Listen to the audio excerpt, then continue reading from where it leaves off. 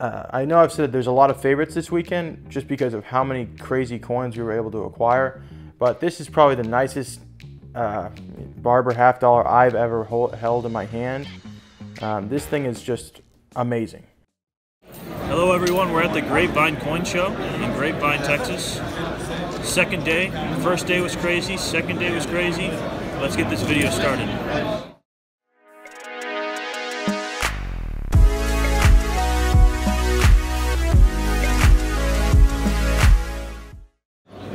Alright guys, so like Casey said, crazy two days. Uh, we're set up here with Shane, Reliable Coins. Just hand over to Shane.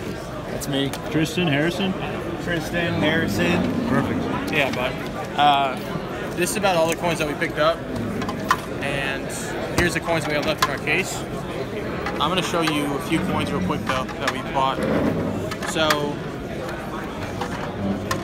bought this coin today. Very hard day. 1919 Denver. Uh, Walking Liberty half. Um, bought this coin with it. 1918 Walking Liberty half. Just very hard dates. Got them for a round sheet. Um, here's a few coins that I really liked as well.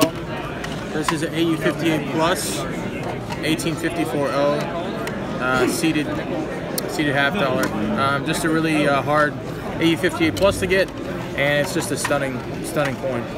Um, here's a cool coin. This is an 1854, three cent silver. It Has a really nice die clash on the obverse and the reverse. It's just these coins were so thin that they couldn't really uh, keep two of the designs separate. But I mean, just a crazy, crazy amount of stuff. Um, got to meet a lot of dealers, work with them. Uh, got a really interesting story for you guys Wednesday. If you guys want to stay tuned for that, uh, let's let's take these home and uh, let's show you everything that we got. Hey guys, just got home from the Grapevine Coin Show. It was a wild weekend. I needed a, a good rest after all that. Um, but we spent and bought a whole bunch of coins. You're going to see a lot of interesting coins, a lot of coins that are over a $1,000 today, which is pretty cool. Trying to move into that sector a little bit more. Bought a few cheaper coins as well. But I think we went through and with everything all said and done, I think we're around $50,000 in inventory this weekend of what we sold and bought and stuff that we also brought home. So it's it was just an insane weekend. But let me show you guys some things that we bought and sold at the show. I did like a brief video about them because they're pretty interesting and rare pieces you don't see every day. So let's roll to that clip.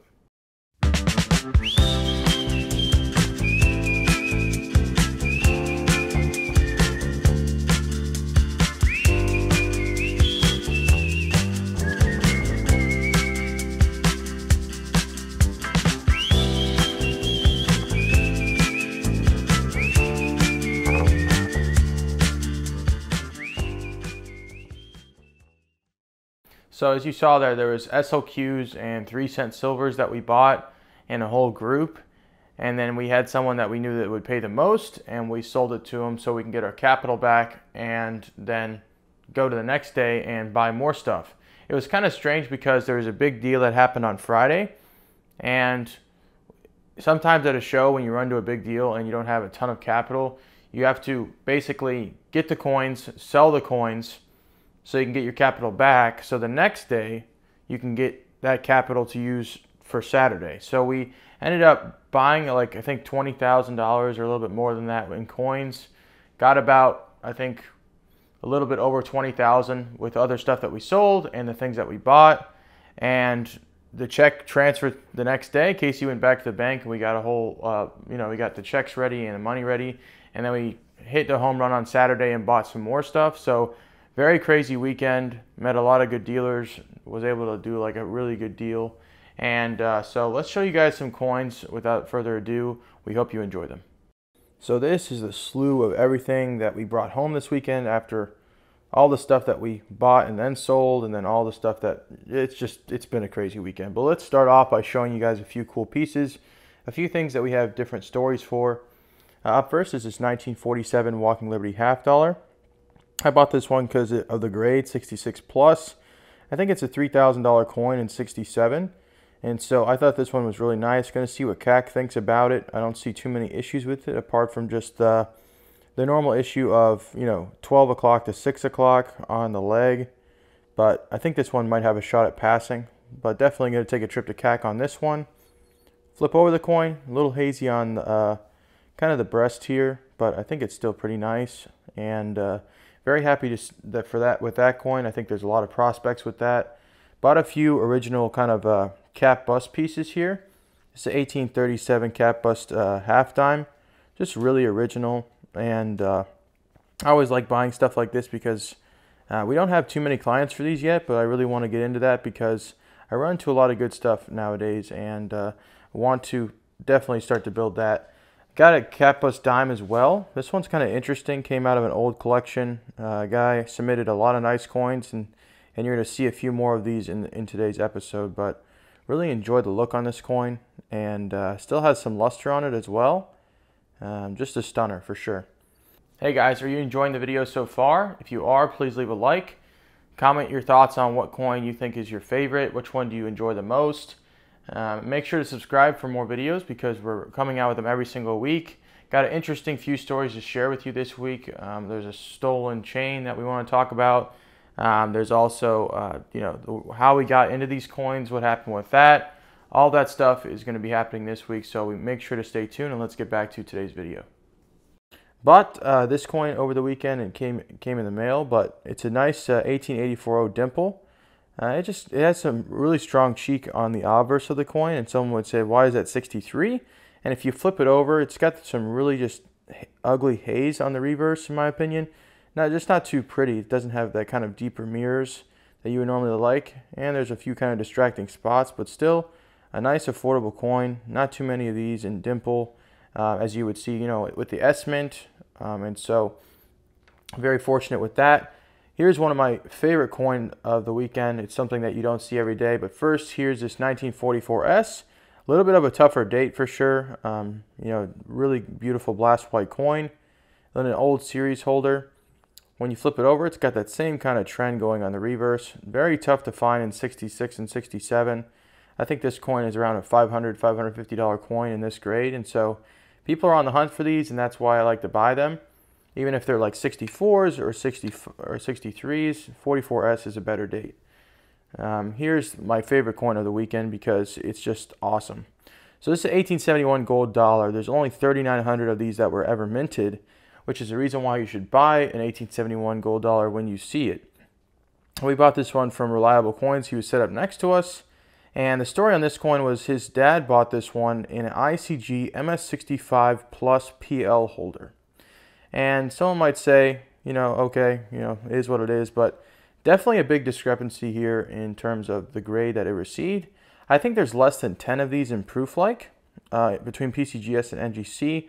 So buying one of these is very hard and very rare and uh, was very fortunate to be able to buy this from, from Shane. I paid up on this coin, but I, I knew in my bones that I could find someone to buy it and we ended up selling that coin before we got home, which is okay. I bought a few dimples this weekend also. This is uh, 1883 CC uh, DMPL. You kind of see a little chatter out in the, in the fields here, but the cheek is super clean. I mean, I think this one, um, if it was reconsidered, could possibly go 65 dimple. But just a really nice fields in this coin, really nice bowl luster as you can see. Got uh, kind of the matching pair here a little bit. Got the 84cc as well. This one is a little bit more chatter on, on the cheek, but it's still a really nice, beautiful coin. Uh, can't go wrong with some nice dimples. Morgans aren't too crazy for me. Um, with this weekend, I didn't buy too many, but I did buy a few things that we all can learn from. Here's an 1831 cap bust half dollar, and this one is very original. I think I'm going to send this one to CAC um, this week because the last few that I've sold have sold anywhere, anywhere between 725 and 750 without a CAC sticker. And the one recently that has sold with a CAC sticker sold for around $1,250. And so getting a CAC sticker on this coin would mean a lot for it. I think that it would have so much more value. And the reason why it's people would pay a lot more for a CAC sticker with these coins because they were mistreated and they were experimented on.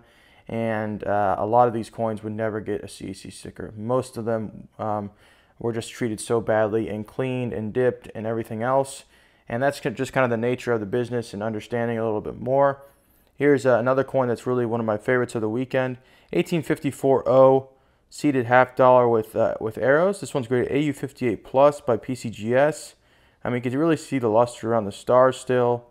Just a, a tremendous coin. Um, I bought this one from a friend of mine named Ted Williams, and we actually know the AU58 plus uh, registry guy that likes to buy AU58 plus coins. He hasn't gotten into the seated space, but he said he was going to start with this coin. So very happy with that. Thank you, Rick, for the business. Um, if you guys are wanting to see what uh, we have, go to acoushacollectibles.com because we would love to share with you all these nice pieces and uh, maybe you guys can pick one up. So we bought two barbers this weekend, two really nice PQ barbers. The first one is a 1902 Barber Quarter, graded MS64 by PCGS. This one came out of this Cap Bust Half collection. Um, so it's a beautiful coin overall. I, I love the luster on the coin. I'm not sure if this one would cack, but I'm hoping so. If it doesn't sell, uh, you can kind of see a few hits here on the cheek, but other than that, just a really nice, spectacular coin. And there's a little haze right there, as you can see, down the nose and right above her where it says trust. Um, that's something that's a little bit of a, an issue for me, but I don't know if I think John might pass this coin, to be honest. Um, uh, I know I've said there's a lot of favorites this weekend just because of how many crazy coins we were able to acquire, but this is probably the nicest uh, Barber half dollar I've ever hold, held in my hand. Um, this thing is just amazing. Um, this is one of the first coins we bought on Friday, and we, we are holding this one for Trent because he's such a great guy and we want to help him with his collection. But if Trent ever passed on this thing or if he ever wanted to sell it, I would buy this sucker back in a heartbeat. Like I said, a lot of coins, some of them are really hard to find CAC approved, and that's why Trent's hunting them. This is a 1913D Barber half, uh, graded MS63 and is CAC approved. And if you look at this coin, I mean, it's just, I'm, I'm going to use Trent's words, baller. This thing is a baller coin. And uh, a lot of these were selling for under $1,000, I believe, or around $1,000. But the last one that sold that was CAC approved, an NGC holder, sold for um, $1,380. So there is a huge premium for CAC coins, especially higher grade, especially coins that you don't find every single day. And so we showed this to a few people and their jaw dropped on the ground and reasonably so. It's just a really beautiful coin. Uh, here's another coin from that Cap Bust uh, dime collection. This is an 1837 reeded edge, uh, you know, Cap Bust half just look at this luster on this coin. I mean, it's it's an insane piece, and uh, this one didn't last long either. Just a tremendous coin. There's a lot of chatter, and I think it might have been wiped, but it does have, um, you know, it is still market acceptable. That's what PCGS said about it, and I've never, I haven't seen luster on uh, a reeded edge like this ever, and so finding a coin like this, I had to take a risk on it. I paid $1,250 for this one. It was a little bit more than what most people want to pay, but sometimes when something jumps out at you like this, you have to jump on it. You have to give it a try. That's just something about growing that most people have to work on and uh, move towards. Two SLQs here. One's a 24, one's a 24D. This is a DL Hansen collection uh, SLQ. And the thing about this one is it's really, really close to full head, which is pretty nice. I do like the the overall look of the coin has a little darkness in the left side there, little toning, but that's okay. When you flip it over, it's got that same uh, kind of a little bit of a, a darkness, but the luster's still pretty strong here. Do love this coin a lot. Hoping to find a new home for it soon. The other one is not as strong in the head, and you can see why. It's kind of just that little that flatness, and I think a lot of them came like this for this one. Um, and so it's got a little toning above the head here. It is CAC approved, just a really nice over, coin overall. I think this one has a little bit of a stronger luster to it. And uh, yeah, just very stunning, very stunning. I bought this coin here. This is a 1854 3 cent silver. And the reason why I did is because a lot of them look cleaned or dipped out. But this one is 100% original in my mind. And uh, when you actually look at it up close, there's a it's actually struck through on uh, the back. So the design on the back is actually coming through the front. And a lot of that has to do with just um, you know how thin the coin was. But luster is really nice. The coin overall is beautiful. A little haze on the coin, which is okay. That's something you can expect for a lower grade type of three cent silver. And uh, here's something that uh, we bought because of the holder and because of the CC sticker. So this is an 1881 CAC grade MS63 CAC, a PCGS, and this one's in a rattler holder.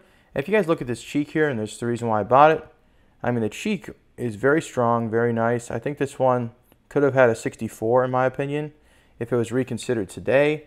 And uh, I thought this one was nice enough to uh, pick up. I'm going to give you guys a breakdown and a little bit of my experience with this one. So this one is, uh, a lot of them sell for 750, 725 in this grade. But the last one on, um, the last one I think on Heritage in the old holder sale a few months ago sold for 10, 1020. It was in a rattler like this one, but it wasn't CAC approved. And so when the dealer offered me this one for 900, I took a risk because a lot of these are very sought after and people will pay 25%, 30% more than what regular ones are selling for in a traditional PCGS holder, just like this one. Um, ran into some better date walkers here. You're going to see one here, see one here, and see one there. The first one's a 1919 Denver, probably the best date of the three. Uh, this one's AU53 and it's CAC approved.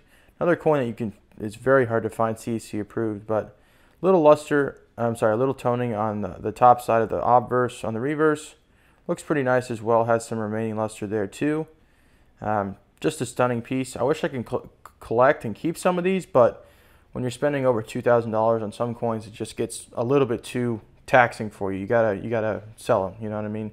And so, bought another seated half here. This one is just really flashy, and that's the reason why I bought it.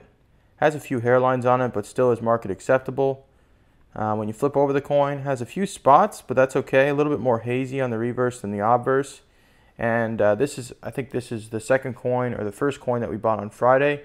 And I thought it was pretty nice. And most of the time it has a little bit more character when it's a little bit proof-likey and people want to pay uh, that premium for it. Here's a 35S, which is a little bit of a tougher date also. This one's great MS64 by PCGS. A really nice flashy coin. Um, no distracting spots, no issues with it, and so that's kind of why I picked it up. A lot of the uh, wholesalers and dealers really like to look out for these because uh, it's just it's just something people are always on the hunt for for their collection. In the 30s and the 20s and the teens, that's just something that you should really be on the hunt out for because you're going to find the right collector for that, and they're going to want to pay you a premium for it. Here's 1853 uh, arrows and rays seated half. A little bit of a distracting spot there right underneath the neck, but I mean, just a nice wholesome coin. You can see the rays here on the reverse. Wanted to take a risk on this one and pay a little bit more than I would normally do, but I'm just finding one in this condition and the arrows and rays, I really love the series of that. And so had to pick it up, had to try it out. Um, this is the 1918 Walking Liberty Half, another very tough date to get a hold of. This one is the Gen 4 holder of the PCGS uh, kind of edition that they had way back. Someone paid like six extra dollars to put this in this weird uh, kind of uh, weird kind of paper, I guess. But really nice luster on this coin, really beautiful, something that uh, a collector would really like. And uh, I, as soon as I saw this coin, I picked it up and I said I had to buy it and give it a shot. This is around a $2,000 coin, so um, you definitely cut off a few collectors with the price, but like I said, you're going to run into somebody that really likes it and wants it for their collection. Here's an 1825 uh, bust half, another coin very hard to find CAC approved. Beautiful original coin, little dark, but that's what's to be expected on these, especially in AU50 condition. Just a really nice coin, still has some remaining luster on the reverse, and really wanting to move into cap bust halves because they're really a nice, uh, really nice group. So uh, bought a few commemoratives this weekend. This is probably one of my favorites. It's the 1922 Grant. Uh, great MS65. Have a collector that really wants to move into these. And so finding a grant like this is good. And I can't wait for him to see it in hand. Uh, got one more Walker here and then a few kind of miscellaneous coins that I wanted to share with you guys. Um, we try to buy stuff that's expensive but also things that people would like for their collection. It's a 1945S Walker.